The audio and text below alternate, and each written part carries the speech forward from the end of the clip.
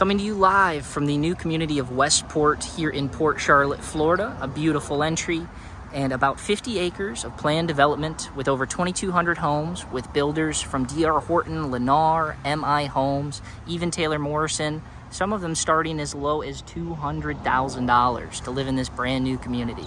There are models open all throughout, and today we will be taking a look around at some of the features you would love to see. Let's check it out. So here we have the Cove, this back here is a Taylor Morrison branch of the community.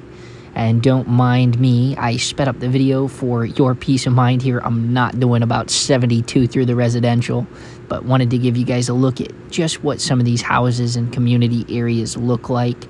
So we're going to take a trip through this one and then down another street. This is now a DR Horton portion of the community. Most of these homes have already sold, but there is already resale available uh, select in areas. This is part of the beautiful entryway as you come in and out of the community, lined with palms, bushes, flowers, all kinds of stuff. And now, time for my favorite part about this whole community. This park, Centennial Park, is my favorite thing about Port Charlotte, really. I've been coming here to disc golf since before Westport was a thing, while it was all still palm trees, and they carved out space for 2,200 homes.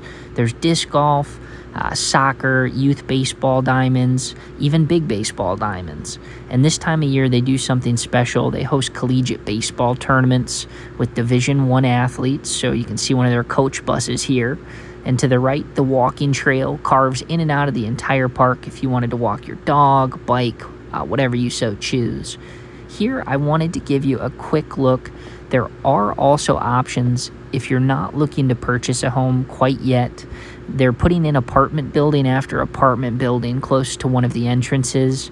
And on top of that, there's a leasing office just around the corner if you were interested in entertaining that, getting a taste of the community before potentially purchasing within it.